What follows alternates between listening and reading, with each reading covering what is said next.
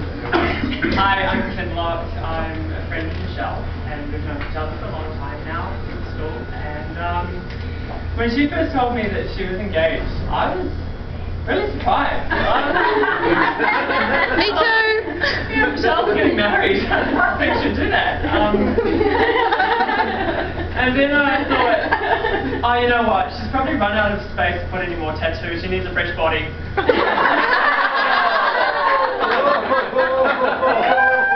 I could be wrong.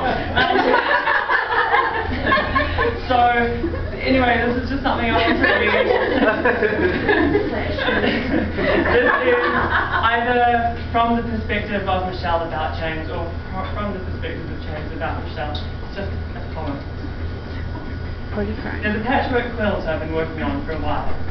I've collected a lot of scraps, swatches, samples. Some are from near here, some from far.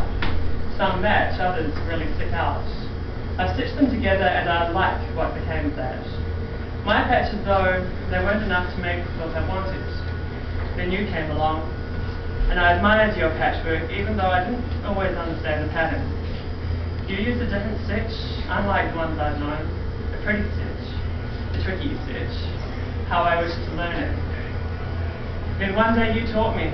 I remember it well, the day we fell in love same strip of cloth. And what could we do to share that fabric, but use it to join together my patches and yours? You taught me your stitch, I taught you mine. It was a good day though. Now we hear a new day. The thread we used then we let loose. Today we tie the knot and trust that knot to hold to keep our married scraps as one. From now on, we'll reinforce the bedspread we've made ours. We'll make it plush, we'll make it soft, the comfort and the strength. Let's add one feather at a time, find each feather together. For a while now, I've wondered which feathers you'll like, which feathers I'll like with you there to show them to me. The light that you put on things, my love, it's your light only. I rest, and I know whatever we find, whatever we use to cushion our quilt, it will keep me close to you. It will keep us warm at night.